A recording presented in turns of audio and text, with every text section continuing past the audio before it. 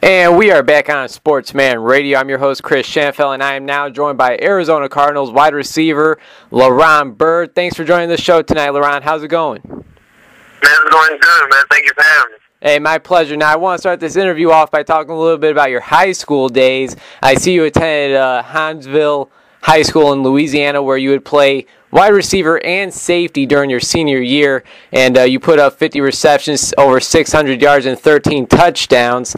Now that's football. You're also a standout uh, basketball player. You averaged over 20 points per game during during your junior year. Why did you decide to choose uh, football over basketball?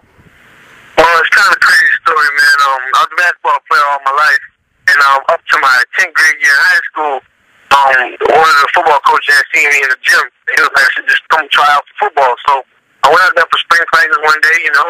It was just one of those days. It was catching everything, you know, running past people. And so coach put me on defense. My first position was safety. I played safety at first. And um, like midway through the season of my sophomore year, one of our star receivers, um, Brian Singleton, got hurt.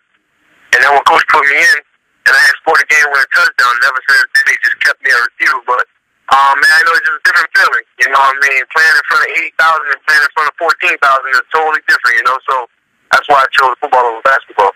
Would you say it was a hard decision to make? Oh, yeah, it was. It was because just, just getting adapted to it. You know, like all my life I played basketball. And, you know, you get kind of spoiled. You know, you're in air conditioning at all times, you know. You don't have to put another 10 pounds of gear on. But at the end of the day, man, football just, it's just a thrill that excitement you get when you score when you catch a pass or that or the momentum the momentum shift from a defensive stop or offensive play, you know, it just I mean it just piqued my interest, man. I just fell in love with it. You know, I thank God for giving me the opportunity to get a scholarship to the University of Miami and, and you know, great things have been happening ever since. And speaking of the University of Miami, you decided to attend that school. Uh, being from Louisiana, being one of the top players in the state, why did you decide to go to the U? Uh, I went to the U because LSU was recruiting me as a safety. Um, if LSU had had been recruiting me as a receiver, I probably would have been an LSU Tiger. But they um, was recruiting me as a safety, and um, Miami recruited me as a receiver, and I wanted to play receiver, you know, throughout my career. And um, the night before signing, the LSU called and, and wanted me to play safety, but you know, my mind was already made up at the University of Miami. And you actually went on to play in all 13 games and started three of them during your freshman year. Before committing to Miami, did you know that you would be able to get some uh, playing time during your first year there, or did you have to show up, work hard, and impress coaches? Oh, no, not at all, man. I was an underdog. You know, going to college, I was an underdog. Uh, a lot of people knew me from basketball. You know, it was like LeBron, the basketball player. But um, I was an underdog going in, had a lot of high-profile guys my freshman year getting into college. You know, um, all I, I've been a, been an avid work on my whole life. You know, just hard work and getting where I fitted. And you know, I went in there with the, with the mind frame of I don't care who's in. You know, it can be five stars, four stars, three stars, no matter what. I'm here to stay. You know, and you know, I worked hard, showed the coaches what I had, and you know, just happened the third game my freshman year, I became the starter. You know, so um, good things happen to those that work hard, man. You know, and I just like I said, I thank God for every opportunity He has given me up to this point, and everything He has planned in my future. You know, but mm-hmm. um, no, definitely have the intention on you know going in that starting right out the back all I just know that I told coach I'll come here, give you 110%. And, and LaRon, tell us about that first college football touchdown you had, which was against Duke. Yeah, uh, my first touchdown was against Duke. Um, we was up. It was in the fourth quarter, and um, so coach was like, "I'm gonna try to get you an end zone today."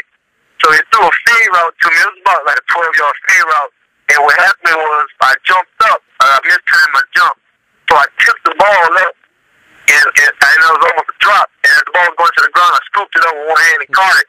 And uh, they, they, they reviewed it and everything, but the ruling was a touchdown. And coach was like, I tried to get you a bone on your first touchdown, and you almost blew it. You know, gave me a hard time about it. But yeah, man, I was like, you know, it was amazing. It was amazing feeling. During your four years in college, you recorded over 100 receptions, over 1,200 yards. LaRon, how was your experience at the University of Miami? I can't hear you. How, was your experience overall at the University of Miami? Oh man, it was great. Uh, I wouldn't trade for anything in the world, man. Like I said, the University of Miami taught me so much. Um, definitely taught me about competing. You know, because you have guys every day at Miami, you know, just competing with one another, making each other better, pushing each other. And it also motivated you also, you know, in the summertime you see guys like Ed Reed, Reggie Wayne, Andre Johnson coming back and working out. And you're like, well, man, these guys were just at the University of Miami themselves, you know, and to see the level of success that they that they have. you you want that, you know. So you be so close to it, to when it makes you just just strive that much harder to get it, you know.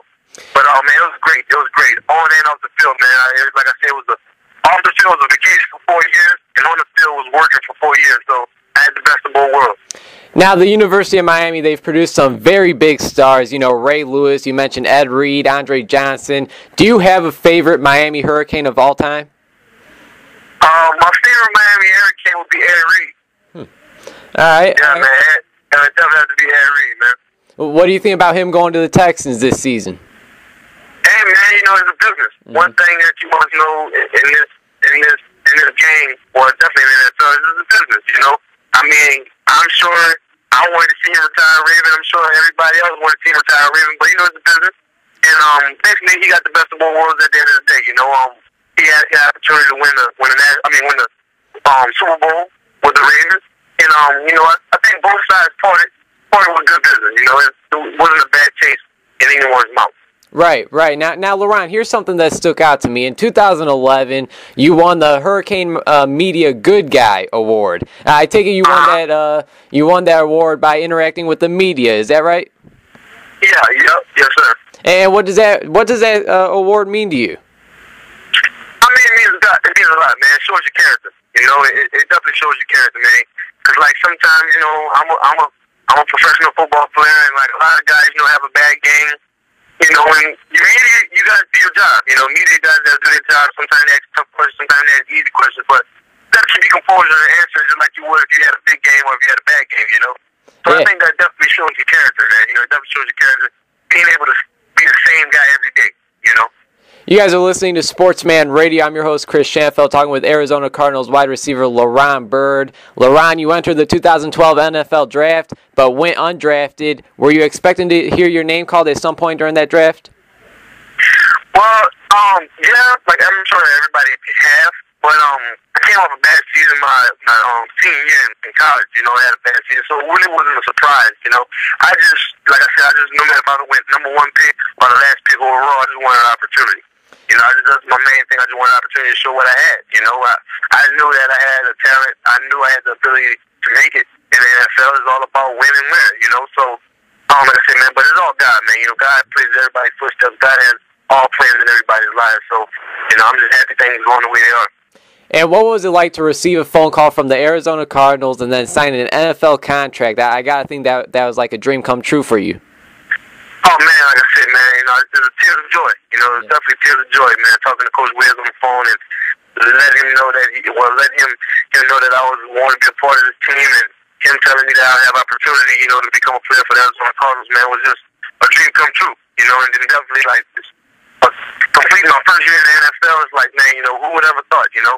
Who would ever thought? So, I mean, like I said, that was a great moment for me in my career, but I'm sure there'll be many more, you know.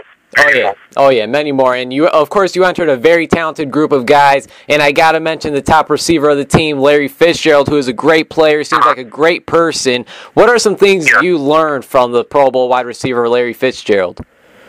Oh man, I learned a lot from him. Um, I learned a lot from him, man. It's kind of like he's my big brother almost, you know. Um, as far as business wise, um, as far as on the field, man, just being being a of the game. That's one of the main things that I learned from him. He's a student of the game. You know, he studies so hard, man. He practices hard.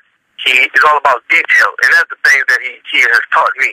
You know, he basically told me, man, you if you could be a student of the game, you could play forever in this league. You know, and I mean, obviously it's proven. You know, Larry been in the league since 2004. And he's still playing at a high level. You know, and it just goes to show you the hard work and the dedication that he puts into this game.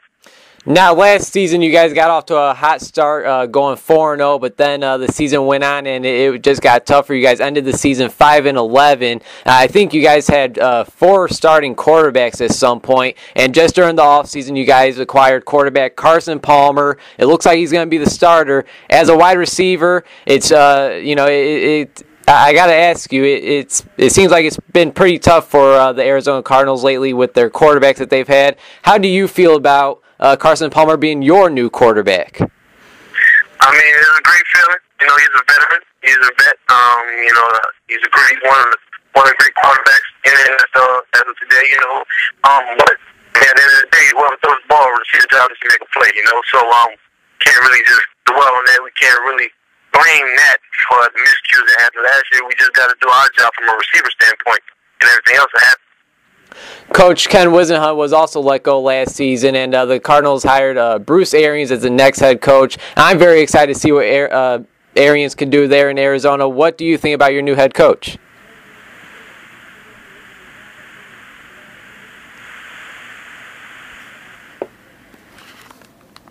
Hello? Hey, LaRon, you there? Yeah, yeah, you're going in and out, my man. Uh, sorry about that. Uh, Coach Whisenhunt, he, he obviously he was let go after last season, and the Cardinals hired Bruce Arians as the next head coach. Uh, obviously, I'm very excited to see what uh, Arians could do in Arizona. I'm uh, a pretty big Cardinals fan. Uh, I, I, gotta say, I'm a Chicago Bears fan before a Cardinals fan. Sorry, LaRon, but I am very excited to see what Arians could do there in Arizona. Obviously, he was the coach of the year last year. What do you think about your new head coach? Oh man, I, I love him, man. I love him. He's a straightforward guy.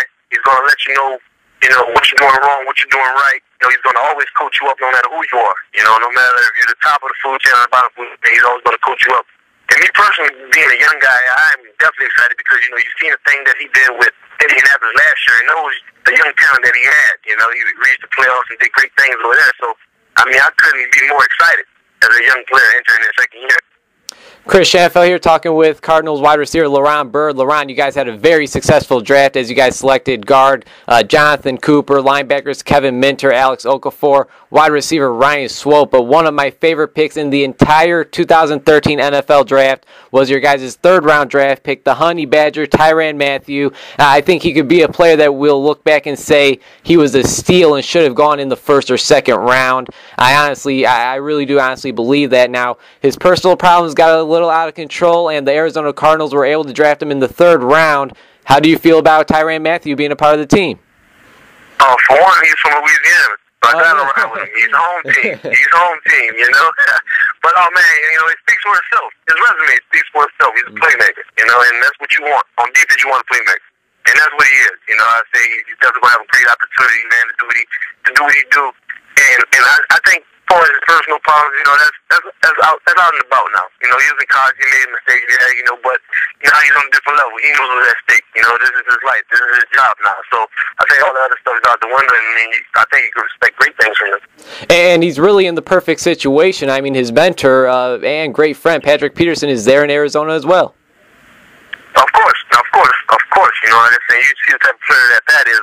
You know, I already made two Pro Bowls within his first two years in the, in the NFL, and like I said, you have a guy like Tyrann with his with his playmaking ability coming in and joining a fellow Tiger. You know, so I mean, that'll be a deadly combination. Like I said, he just learned the game, and, and he should be Pat right hand man. You know, he's just his ear, figuring out everything that you know, everything that Pat sees, how Pat reads defenses, and just and just try to be that same player.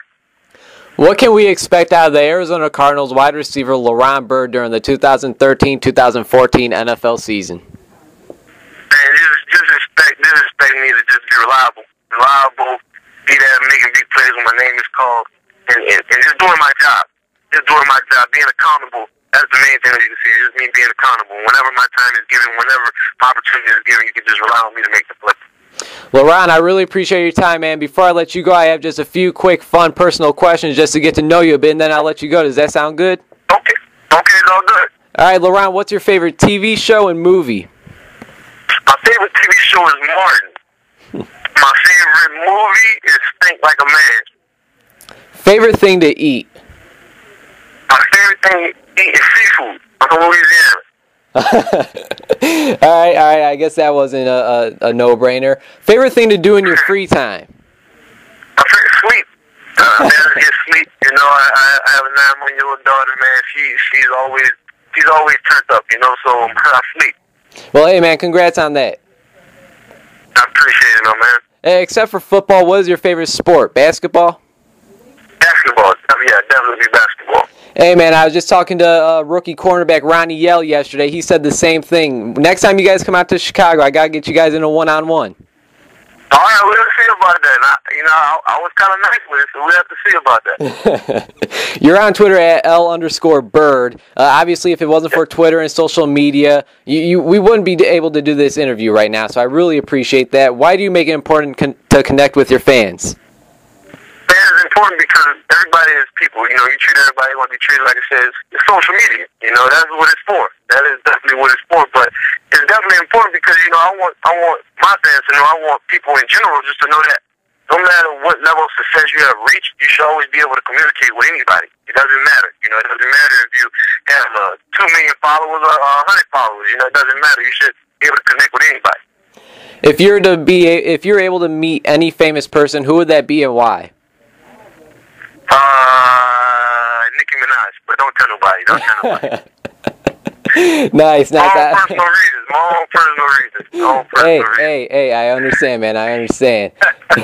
Just a few more questions for you, LaRon, and I'll let you go. Uh, what did you? Okay. What was the first thing you bought with that first NFL uh, contract? Uh, the first NFL paycheck you received? Really, uh, uh, yeah, with some furniture, man. From my phone, the first thing I did, but first big, big I did was um, I got a call from my mom. All right, all right. That, that's cool. That's cool. And last but not least, what is something about Arizona Cardinals wide receiver LaRon Byrd that many people do not know about? Um, well, that's the reason why they don't know because I ain't told nobody, you know. but oh man, I'm a little bit of OCD, man. I'm I'm I'm OCD, man. man. Everything got to be double tapped. Everything got to be organized, man. I'm a bit of a neat freak, you know. So that's something that probably nobody knows that's that's outside of the team. Hey, man, being a neat freak isn't always bad. Yeah, you're right. You're right. I mean, um, you know, you're right about that. Hey. There's a lot of people over. I tell you that. LaRon, I I gotta say it's been a true pleasure to have you on the show. It's been a true pleasure to be uh, to speak to you. I, I gotta say this is probably one of my favorite interviews. You really are a, uh, you really do seem like a great guy. I'm wishing you nothing but the best this year and uh, down the road. Before I let you go, is there anything you'd like to plug on the air for myself and our listeners? Oh no, man! Just like I said, man, just co- continue supporting your show, man. Wish everybody continue supporting your show, man. Watch out for them Cardinals this year. Hey, sounds good. Bird Gang, and take care.